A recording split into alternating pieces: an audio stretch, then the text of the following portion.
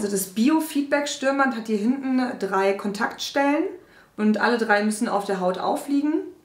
Die mittlere, mittlere liegt hier auf der Stirn auf und die beiden äußeren schwarzen liegen an der Schläfe auf.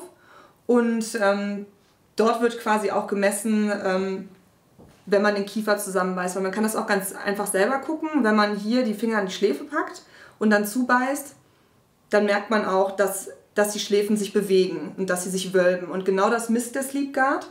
Und wenn man zwei Sekunden beziehungsweise ab dem Zusammenbeißen kommt der Entspannungston. Und äh, nach zwei Sekunden, wenn man dann immer noch nicht den Kiefer ähm, losgelassen hat, dann kommt ähm, der Alarmton. Dann ähm, trainiert der Körper quasi, dass man ähm, auf den Entspannungston hört und dann direkt schon wieder den Kiefer entspannt und loslässt. Also durch den unangenehmen Ton wird dem Körper quasi antrainiert, dass er sich, äh, sobald der Ton ertönt, ähm, entspannt.